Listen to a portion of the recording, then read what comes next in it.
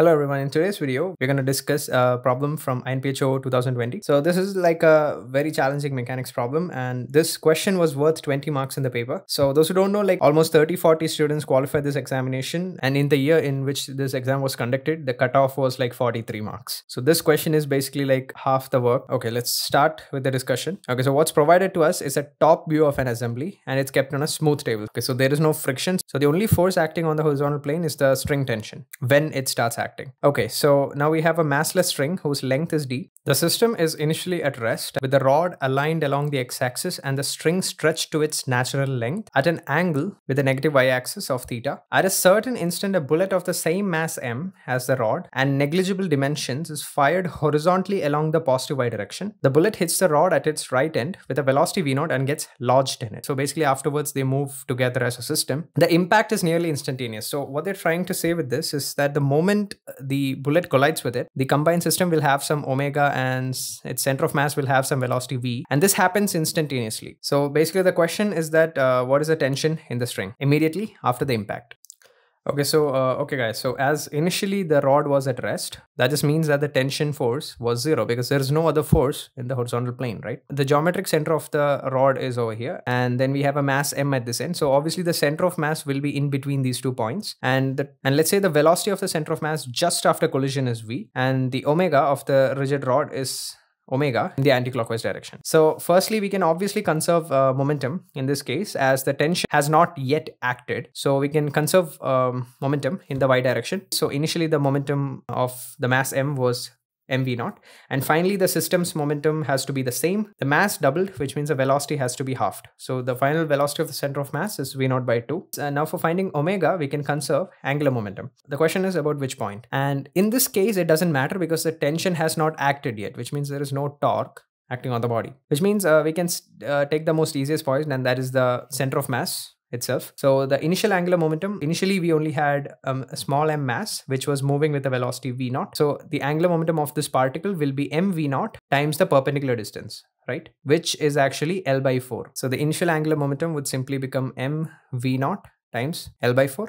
Okay, so and finally the angular momentum is simply going to be uh, the i above the center of mass times omega of the rod. Now we have to determine the moment of inertia of the system about the center of mass. Okay, so first we have to use parallel axis theorem here. So we know the moment of inertia of the rod about this axis is ml square by 12. And so which means about this particular axis, we have to add another md square term. So this will be m times L by 4 squared. Now we also have to consider the contribution due to this smaller mass, which itself is at a distance of L by 4. So this is going to be M L by 4 squared as well. So this after calculation comes out to be 5 by 24. So after calculation, this comes out to be 5 by 24 ml square. And the omega comes out to be 6 by 5 v naught by l. So okay guys, so now let's consider the point of contact of the rod with the string. Call that point as A. So if I want to determine the velocity of point A, uh, it'll be a combination of two uh, two parts, right? So first is the velocity of the center of mass, which is v naught by 2 in the j cap direction. And then we have to add the r omega component, which is going to be minus the distance of the center of mass from the point A is 3l by 4 and times omega.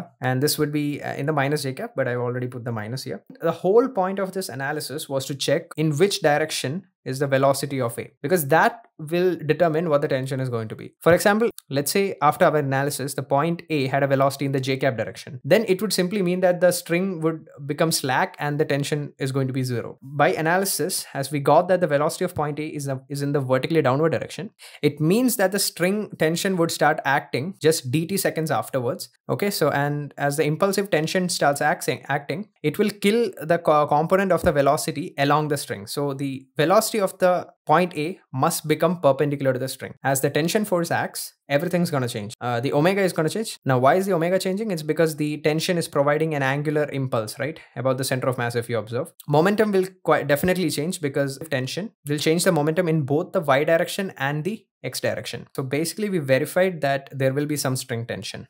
Okay, so the center of mass, let's call the point as C. Let's say the uh, new angular velocity of the rod is omega, anti-clockwise direction. Uh, clearly guys, the rod will have some angular acceleration, right? And it will be in the clockwise direction. Why? Because the tension, if you observe from the center of mass, is providing a clockwise moment, which means there will be clearly an alpha as well which is in the clockwise direction. The velocity is kind of complicated because it will be in some arbitrary direction. Okay, so let's leave that for now. But we are clear with one thing and that is the velocity of point A has to be perpendicular to this string because otherwise the string would elongate, which is not possible. Okay, so the interesting thing about is that if you observe the motion of point A, dt seconds afterwards, so it would be moving in a circle as you can see of radius d. So the the thing about this is that if you want to write the acceleration of A, it is going to be towards this point, you know, attached to the roof O, it is going to be VA square divided by D and um, so this is basically the centripetal acceleration right? V square by d. Also by using the fact that the point a is like on the rod and the rod is a rigid body we can we can write the acceleration of a in an alternate way as well. Let's say this is the point a and let's say this is the point c. If i so now if i ask you with respect to the center of mass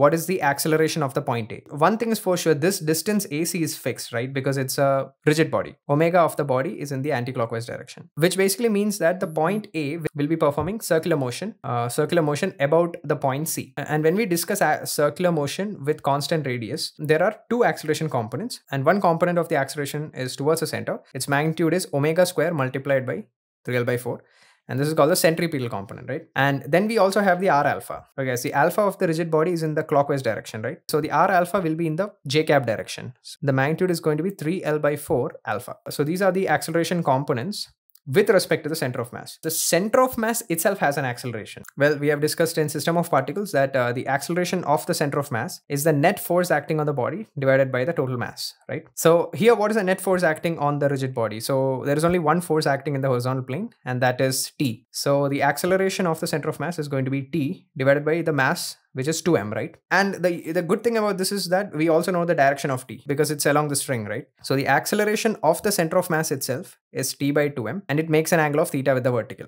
Okay guys, so now these two components as I discussed, was with respect to the center of mass.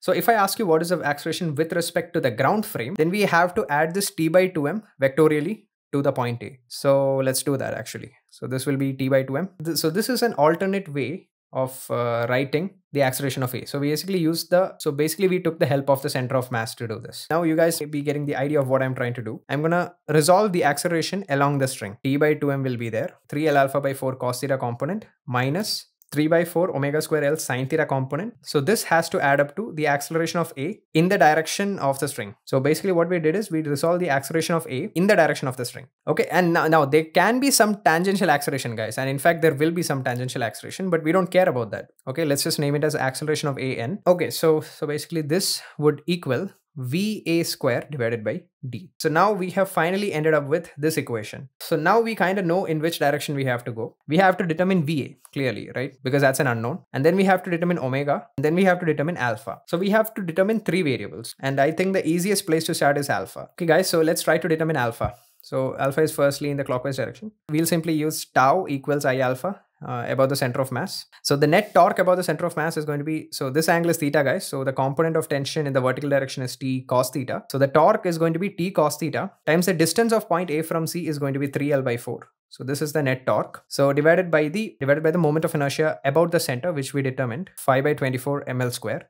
And from here, we'll uh, get the alpha of the rod as 6t divided by 5 ml. So now we have to, uh, now we have two variables, which basically means we need two more equations. So the other two tools in our toolbox are momentum conservation and angular momentum conservation. So let's discuss how we can apply that now. Okay guys, so just before uh, the string tension starts acting, uh, that is basically our first analysis, we determined that the center of mass had a velocity of v naught by 2 in the upward direction, right? Then what happened? The string tension started acting and now we don't know in which direction is the velocity of the center of mass. But we know this velocity is going to be perpendicular.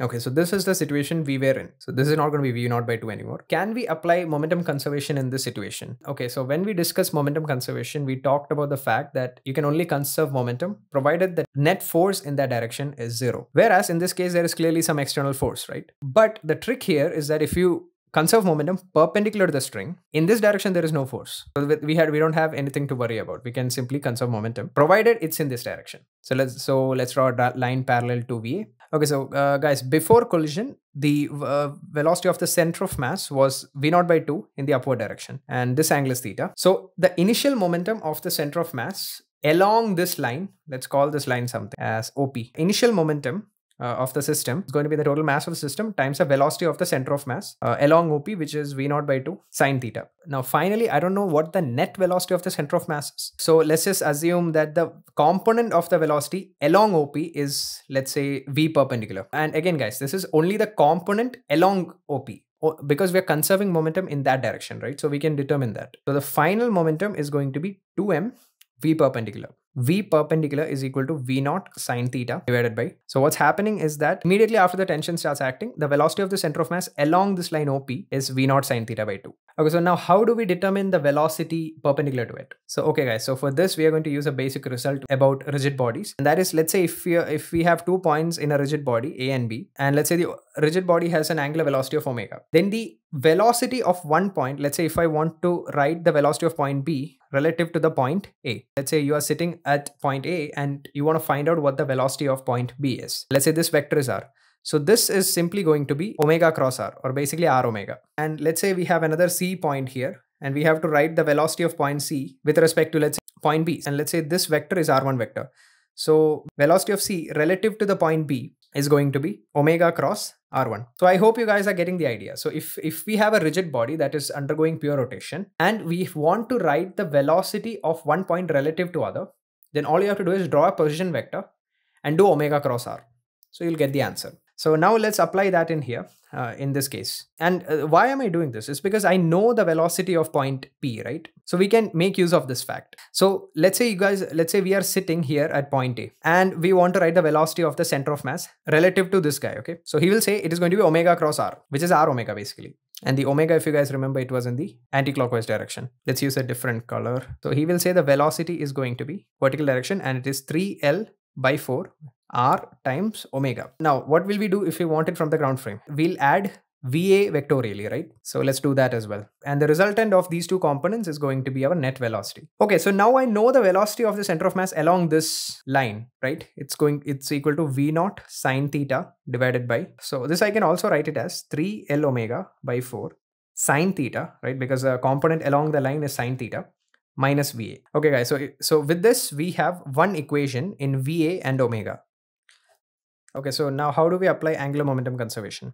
So first we have to choose a point. And so if we want to conserve angular momentum, then we have to make sure that about that particular point, the net torque acting on the body must be zero. And the obvious choice would be point A because in because the tension directly passes through the point A. So initially the mass m over here was moving in the j cap direction with a velocity of v naught, right? So and its distance from the point A is L. So the initial angular momentum I can write it as m v naught L. And so the final angular momentum, it will have two components. Well, first we have to consider the center of mass as a particle and write its angular momentum. So it's going to be the mass of the system, which is 2m, times the velocity of the center of mass in the vertical direction. So that will be 3L omega by 4 minus VA sine theta, right? Uh, in the last section, we discussed that the velocity of the center of mass, I can write it as the vector combination of 3L omega by 4 and VA. So that's why so I resolve VA along this, so it'll become VA sine theta. This was considering CM as a particle and writing its angular momentum about A. So, and the second component of the angular momentum is the angular momentum of